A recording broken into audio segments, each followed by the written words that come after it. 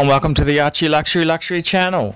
Today I want to talk about why my Patek Philippe is absolutely perfect for me.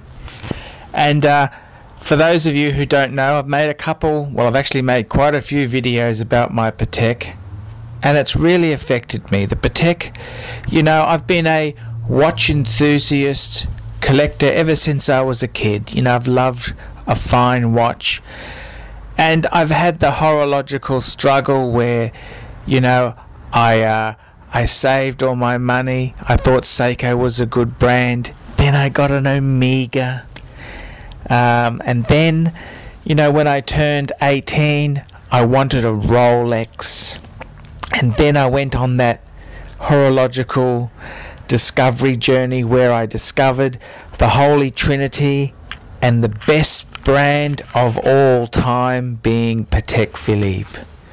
And, uh, you know, as soon as you understand what a Patek Philippe is, you need to have one. It's sort of an aim. And uh, I've got to say, you know, Archie Luxuries had a good life. I had a, uh, a brand new BMW at, at uh, just before I turned 19. I was still 18 when I got a, a brand new 3 Series. This was 20 years ago, or over 20 years ago.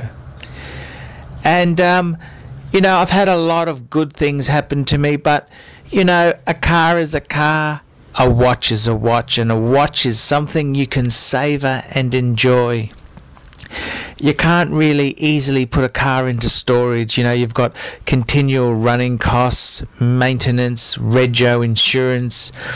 Whereas a a fine Swiss wristwatch you can put away and bring out and savor. And I suppose that's really what I enjoy about my Patek Philippe. And uh, you know, I went on a journey. It's not just an instant thing. You just don't suddenly discover that you want to Patek Philippe Calatrava or you want this or you want that. It's the learning, it's appreciating what makes a fine wristwatch from compared to all that shopping centre mall mediocre fucking trash.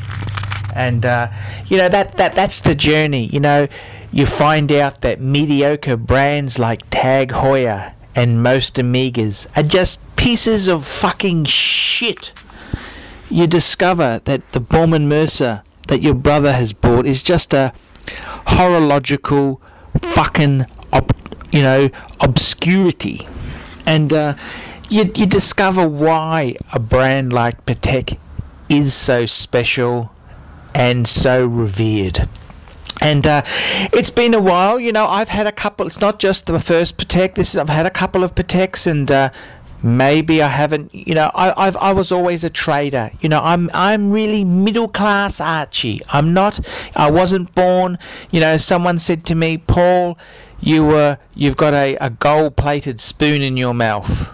You know and that's the thing. I've uh, I've got a taste for expensive things but unfortunately Archie's had to work for all his money. He didn't um, get any inheritance or gifts or things like that there. It um, Archie's had to pretty well earn or trade to get those pieces himself, and uh, that's a journey. And I've got to say this with Patek Philippe, you know, it's a brand. You know, obviously, you know, when you start off in watch collecting, you think the solid gold Rolex is the be all and end all. Then you realize, hey, the movement's not that great and this isn't that great and you start to appreciate what makes a wristwatch so special. And for me, I've got to say this, now that I've owned my Patek Philippe Calatrava for over two years, it is me to a T. It's Archie luxury at his best. And, uh, you know, I, I think that I, I, I've just, I just appreciate everything about it.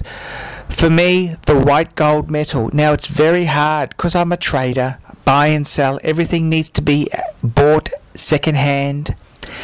White gold is pretty hard to come by because you know it's mainly yellow gold. There's not a lot of white gold pieces readily available. And for me, the Grand Torley, the Calatrava that I've got, which is a 5107, it kind of just fell into my lap at the right time. It's one thing to have an eye for beautiful things. It's another thing to have the money in place to make that dream become a reality. And uh, I had a small inheritance come my way, and I, I had a small collection, and I, I sold a few pieces off, put some money in from the inheritance, and I started the journey. I got a my Patek 5107 Calatrava. 5107 is the model, Calatrava is the model as well, and um, it's also it's a Grand Tourly. It's for Patek, it's 37 mils across, excluding the crown, and that's quite big for a Patek. It's got the most. It's a beautiful three-hand watch, and it's got the most gorgeous date system there in it. It's got the beautiful display back with the 315 SC movement, and uh, I I hummed and hawed. What watch should I get? What watch should I get? And um, I was thinking, get a President, get a Daytona, but no, the Patek won out. And I've got to say, I'm I'm I'm happy. It's now been two years, and uh, I've had other things come across my way. I had a uh, a very beautiful um, 5127 in yellow gold. That's the, the next model in yellow gold with a bracelet. I could have upgraded to, and I thought, no, I prefer the white. I'm content. And I've also had other beautiful pieces. I had a solid gold Submariner, and then I realized the type of people who like that type of watch. That's not really what I really want to, to be in life. So the it's it's been a it's been a learning curve, and uh, for Archie, you know, it's something you've got to you've got to really take in your stride. But I've got to say this in all honesty, I love my Patek Calatrava 5107. I think it's a great watch. It's a watch that I um I am savoring and enjoying, and you know, even it's a very expensive watch but uh, even when I, I don't have it, because I, I do, you know, I don't want to keep all my watches at home. I'm very scared of security and that there, particularly with Archie's profile. So a lot of my, I should say, all my watches that I, I, uh, I don't wear, they're actually in the bank safe. So I've uh, I've got to make a journey to to get them out, and uh, at the moment my Patek is in the bank safe.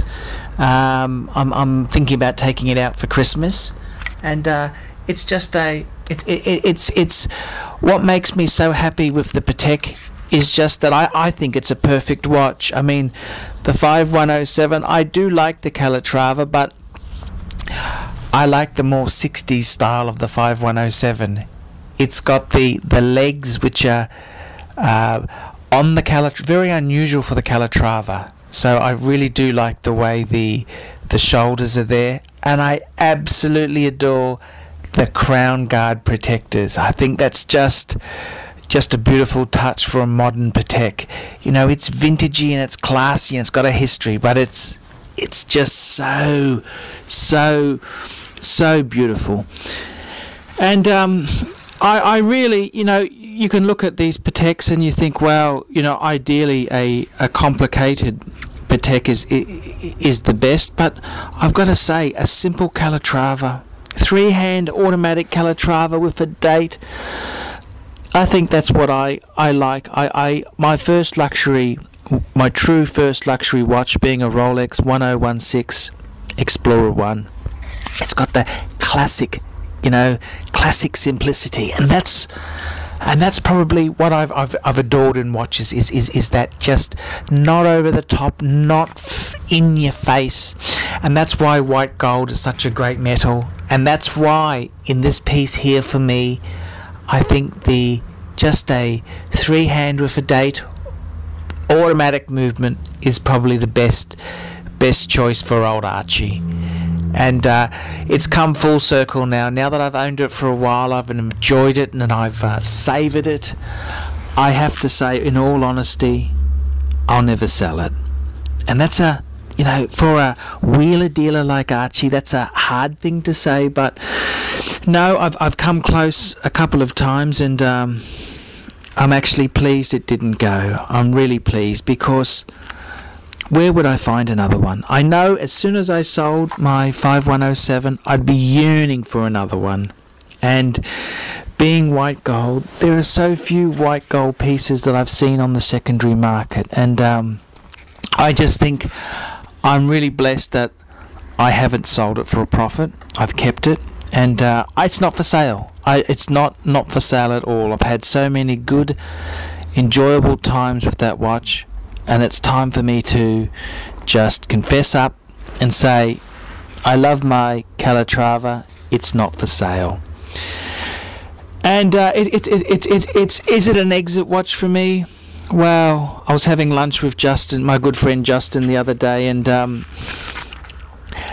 unfortunately, I don't think any watch is an exit watch for me. I always, I always love, love watches, and you know, trying on iconic pieces and this and that. But the the Calatrava for me makes me happy.